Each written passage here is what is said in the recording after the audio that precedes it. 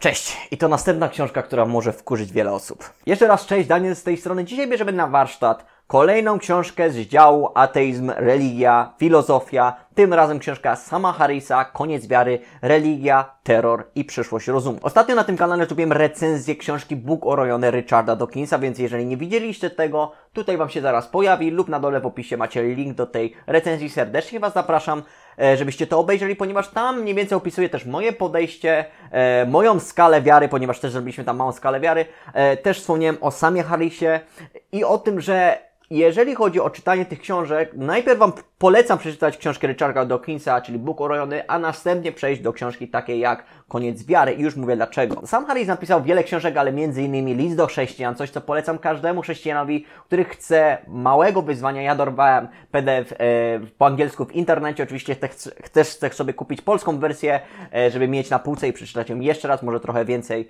E, zrozumiem, mój angielski jest mniej więcej na 90%, e, jeżeli chodzi o porównanie do języka polskiego. E, między innymi też wolna wola, bardzo interesująca kwestia dla mnie. Ja osobiście uważam, że koncepcja wolnej woli no nie ma czegoś takiego za bardzo i to też jest wielki atak na wolną wolę, jeżeli chodzi o chrześcijaństwo, ponieważ wolna wola jest wielkim, wielką częścią chrześcijaństwa i sam Harris e, też to mniej więcej wyjaśnia dlaczego to niekoniecznie funkcjonuje tak, jak to ludzie postrzegają, że funkcjonuje. Jeżeli chodzi o samą książkę, Koniec Wiary, muszę Wam powiedzieć, że to nie jest prosta książka. To nie jest tak samo prosta książka jak e, Bóg urojony, ponieważ podam Wam taką analogię. Jeżeli chodzi o Boga urojonego Richarda Dawkinsa, można to porównać do pewnej jakby wędrówki, na której na końcu jest ten argument religijny lub nasza konkluzja, tak? I można powiedzieć, że Richard Dawkins jest jak motor, który pędzi prosto do celu. Sam Harris ma troszeczkę inny styl. Sam Harris bardziej filozofuje i nie ma w tym nic złego, po prostu musi nam to przypaść do gustu lub musimy mieć troszeczkę praktyki, jeżeli chodzi o argumentację, o cały ten temat, jeżeli chodzi o ateizm, teizm i tak dalej. I sam Harris lubi krążyć wokół tego wszystkiego, lubi odejść od tematu i później do niego wrócić. I dlatego ta książka może być troszeczkę trudna dla niektórych z Was, ponieważ no, fragmenty tej książki lub początek tej książki jest dosyć bezpośredni, mówi o wierze i tak dalej, o, o, o szkodach, które ta wiara produkuje, religia produkuje jednak później odchodzi od tematu i dla niektórych z Was może być to bardzo, bardzo interesujące, dla niektórych może być to wkurzające i irytujące, że odbiega od tematu i w ogóle o czym ja czytam, miałem czytać o końcu wiary i nagle czytam o czymś innym.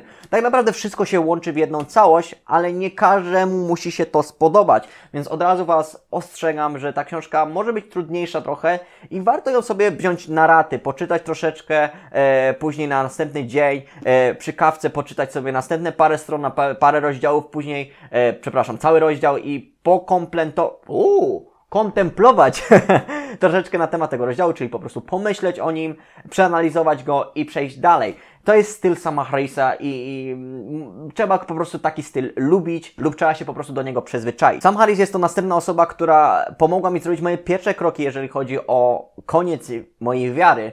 E, obejrzałem naprawdę wiele godzin jego debat, jego dyskusji, jego wypowiedzi, podobnie jak e, dyskusji Richarda Dawkinsa lub Christophera Hitchinsa. Te trzy osoby zapoczątkowały w ogóle ten ruch nowego ateizmu, podobnie jak Daniel Dennett. Nie mam jego książek, też nie z każdą kwestią Daniela Dennetta się, jakby, którą jakby postuluje Daniel Dennett się zgadzam, ale też na pewno będą jego książki na moim półce, ponieważ ja lubię mieć szerokie spektrum tego wszystkiego, lubię poznać każdego opinię i później sformułować moją własną.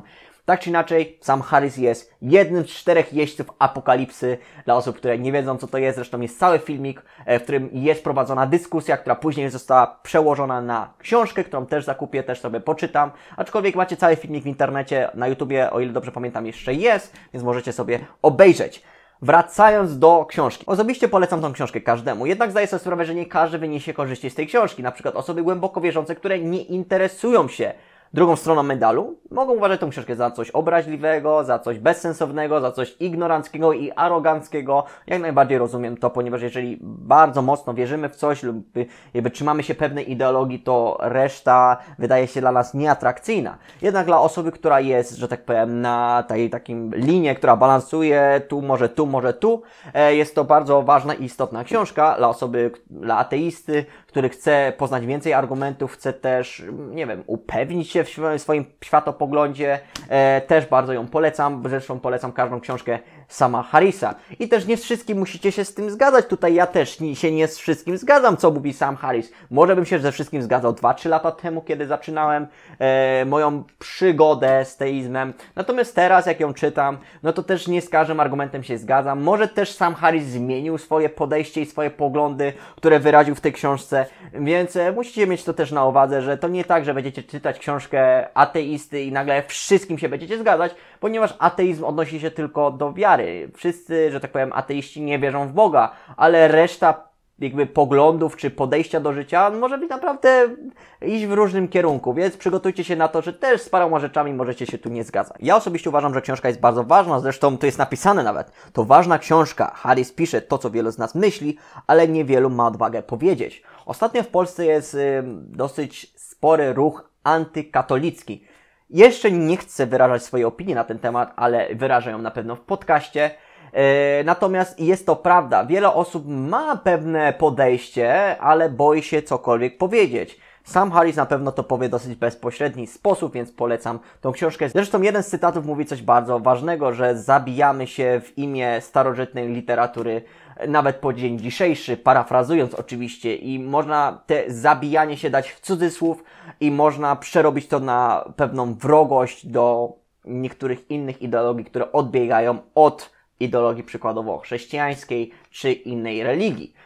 Więc to wszystko w tym filmiku. Wiem, że wielu z Was już mnie nie lubi za to, że nie wierzę, jestem ateistą, czytam takie książki, ale Biblię też czytałem. Zresztą ta Biblia mnie skłoniła do odejścia od tej wiary, więc uważam, że no, jeżeli porządnie przeanalizujecie Biblię, to zauważycie, że jest tam coś nie tak. Więc bardzo Wam polecam tą książkę, bardzo Wam polecam książkę Richarda Dawkinsa, możecie jeszcze raz obejrzeć sobie tą recenzję. Niedługo się pojawi jeszcze recenzja Bóg nie jest wielki Christophera Hitchinsa. To wszystko z mojej strony, mam nadzieję, że jeszcze mnie lubicie. Trzymajcie się.